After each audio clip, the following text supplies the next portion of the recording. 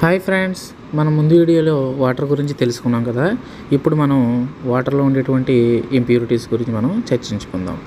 Impurities present in water classified based on size nature state of matter దీన్ని బట్టి మనం వాటర్ని డివైడ్ చేస్తాం అనమాట size of impurities size of ఇంప్యూరిటీని base చేసి వాటర్లో త్రీ టైప్స్ కింద డివైడ్ చేయొచ్చు అనమాట ఇప్పుడు ఒకటి suspended solids colloidal solids and dissolved solid suspended solids.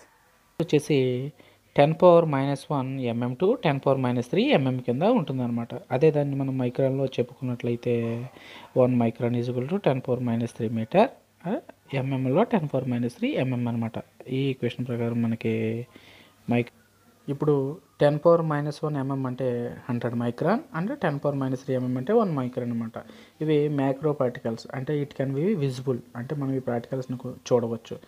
ఈ సస్పెండెడ్ సాలిడ్స్ ఉన్న వాటర్ని మనం purification process filtration sedimentation and settlementation ఈ ప్రాసెస్ను ఉపయోగించి మనం ప్యూరిఫై చేయొచ్చు. ఇవి నెక్స్ట్ వీడియోలో సెడిమెంటేషన్ ఫిల్టరేషన్ సెటిల్మెంటేషన్ ప్రాసెస్ ఏ విధంగా జరుగుతుందో నేను మీకు వివరిస్తాను. తర్వాత కొలైడల్ పార్టికల్స్. కొలైడల్ పార్టికల్స్ అంటే ten power minus three mm to ten power minus six mm వరకు అనమాట ten power minus three mm one micron to ten power minus six mm అంటే ten power minus three micron అంట. ఇవి micron particles. వీటి purification process వచ్చేసి coagulation sedimentation filtration. Coagulation అంటే మనం వీటికి కెమికల్స్ యూజ్ చేస్తాం అనమాట కెమికల్స్ యూజ్ చేసి వాటర్ని కోయాగులేట్ చేసి ఈ ప్రాసెస్ను మనం వాటర్ని ప్యూరిఫై చేయడం జరుగుతుంది.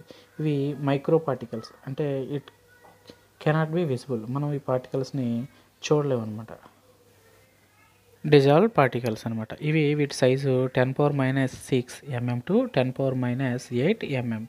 Ten power minus six mm అంటే ten power minus three micron and ten power minus five micron. Micro particles ఇవి కూడా మనకి కంటికి కనిపించవు. డిజాల్వ్డ్. ప్యూరి ప్యూరిఫికేషన్ వచ్చేసి మనం హీటింగ్ ద్వారా chemical treatment and RO process వీటిని ఉపయోగించి మనం డిజాల్వ్ ఇంప్యూరిటీస్ అనేవి మనం తగ్గించవచ్చు అనమాట నెక్స్ట్ వచ్చేసి nature of impurities organic and inorganic వీటిని పెట్టి నేచర్లో రెండు పార్ట్స్ కింద డివైడ్ చేయడం జరిగింది.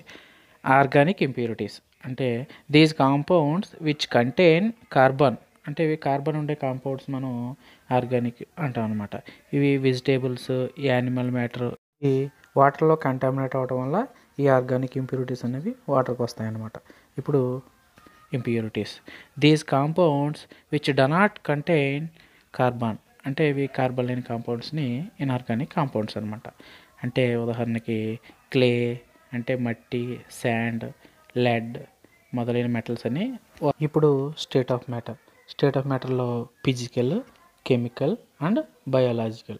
ఇవి ఇంప్యూరిటీస్ ఫిజికల్ స్టేట్ ఆఫ్ మ్యాటర్లోకి డివైడ్ చేసేయచ్చు. Physical impurities. ఇందులోకి వచ్చేసి temperature taste odour colour turbidity specific conductivity మొదలగునవన్నీ ఈ ఫిజికల్ ఇంప్యూరిటీస్లోకి వస్తాయన్నమాట. వీటి గురించి కూడా నేను నెక్స్ట్ వీడియోలో మీకు ఎక్స్ప్లెయిన్ చేస్తాను. Chemical impurities. ఇవి total solids hardness dissolved gas type of anions and cations అన్ని ఈ కెమికల్ ఇంప్యూరిటీస్లోకి వస్తాయి. నెక్స్ట్ బయాలజికల్ ఈ బయాలజికల్ వచ్చేసి bacteria fungi algae and other form of aquatic animals and vegetable life ఇవన్నీ మనకి బయాలజికల్ ఇంప్యూరిటీలోకి వస్తాయి అన్నమాట ఈ విధంగా మనం వాటర్లో ఉండే ఇంప్యూరిటీస్ అన్ని ఈ విధంగా డివైడ్ చేయడం జరిగిందనమాట thank you for watching friends please like and subscribe